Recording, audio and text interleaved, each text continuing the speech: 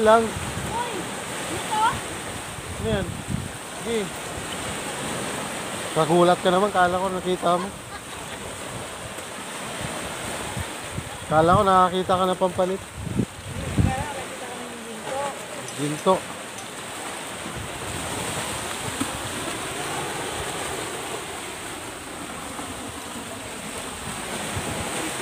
Treasure. Yan o. Yan na ang treasure. Wala loob yan. Tara, pasok tayo. Ano? Yes, yan, yan. Tak, tako. Ganyan, mga pinapasok namin sa probinsya.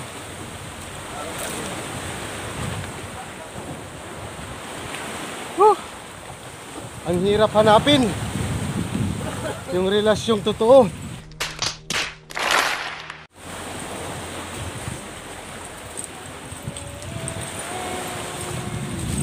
Mga shell lang ang kukunin nyo. Ito na, oh. Dali mo doon. Ay, ito pa. Aray! Oh, magagandang shield. Mga mga pinikin. Ay, lang mag Ay, ito yung plastic na para sa shield. Para shield na. Shell! Magpakita kayo sa akin.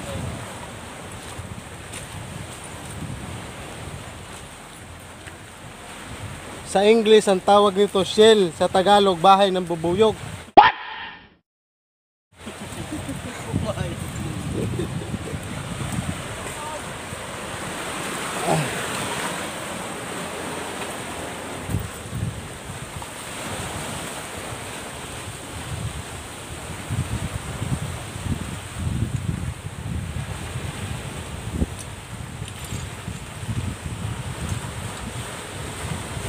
Huwag ka na nga dyan.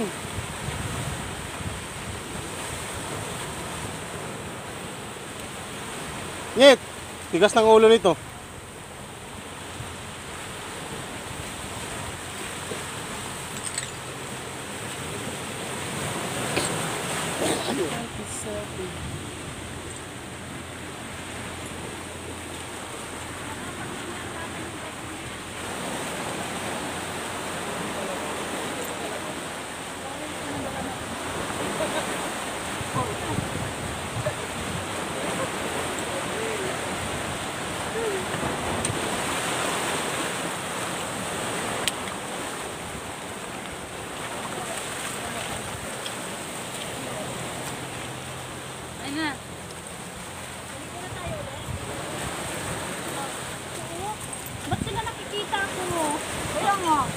Ay!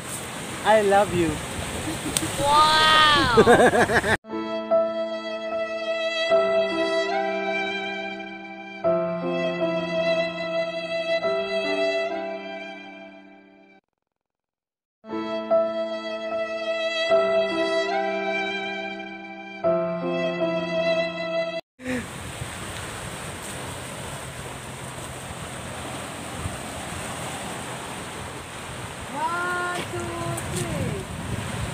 Liparin mo ang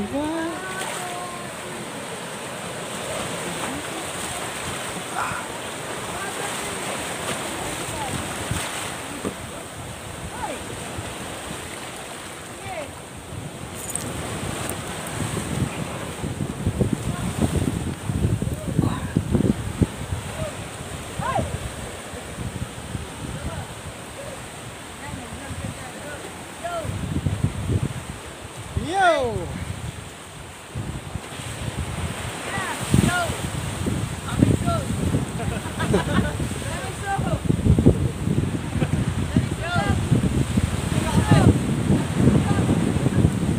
Siyay!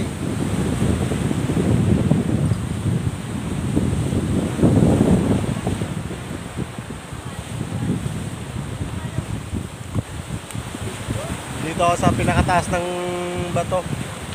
Ayan o.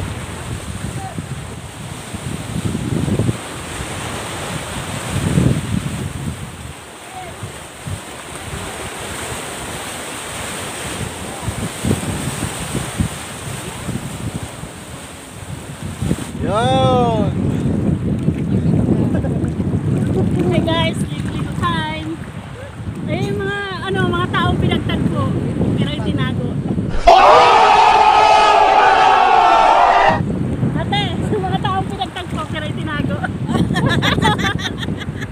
Secret lang natin yan. Uy, hindi ka walang walangoy. Hindi ka walang walangoy. Hindi ka marunong maglangoy. Parang ako yata sumisira. What? Hindi ka marunong walangoy.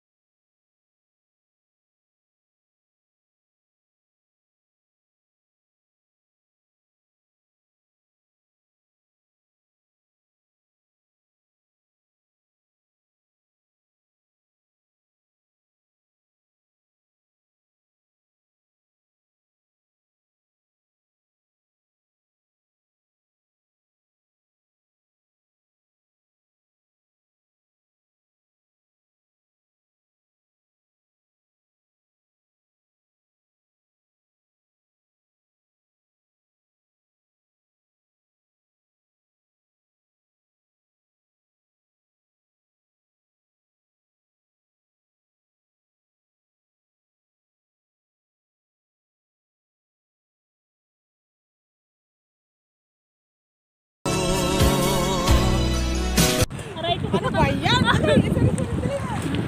Mas lalo ka malulunod pag sinisid mo yan.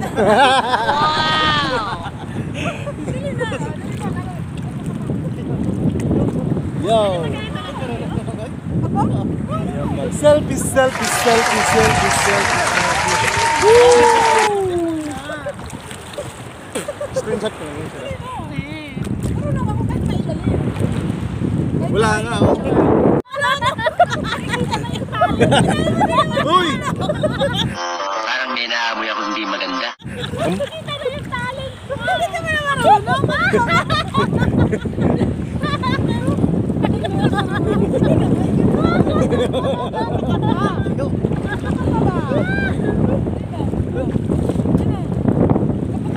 Nasa konti na nakikita eh. Pagkakasama ka namin, nakikita na namin yung talent ko. Pagkalasing. Lumalaki na yung alon! Para lang relasyon!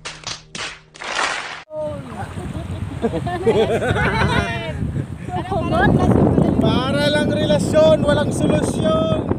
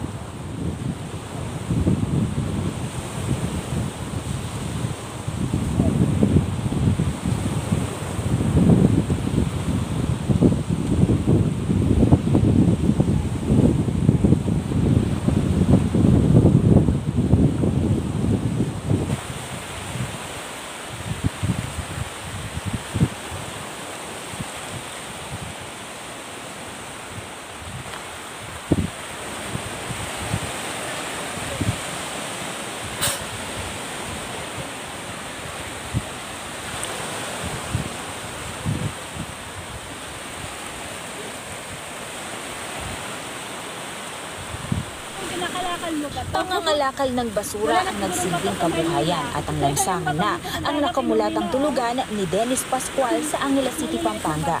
Isang araw ay nagbagong itsura si Dennis. Ito ay sa tulong ng kabalen hairstylist at makeup artist na si Richard Strands na na ang tumulong sa kapwa. Ginupitan, binihisan at ngayon, total transformation na si Dennis. Tama na yan. Isinalang pa sa photoshoot ang pasurero na ginawan din ng vlog ang naging makeover. Napansin nga ng netizens na umangat ang kagwapuhan at mala celebrity na aura ni Dennis na inihalin tulad pa ng mga netizen sa Hollywood actor na si Chris Pratt. talagang ang plano namin is gupit lang, tulungan ko siya na yung mabigyan ko siya ng ano, ng konting maiabot ko sa kanya. Yung photoshoot namin, parang nag-enjoy naman siya.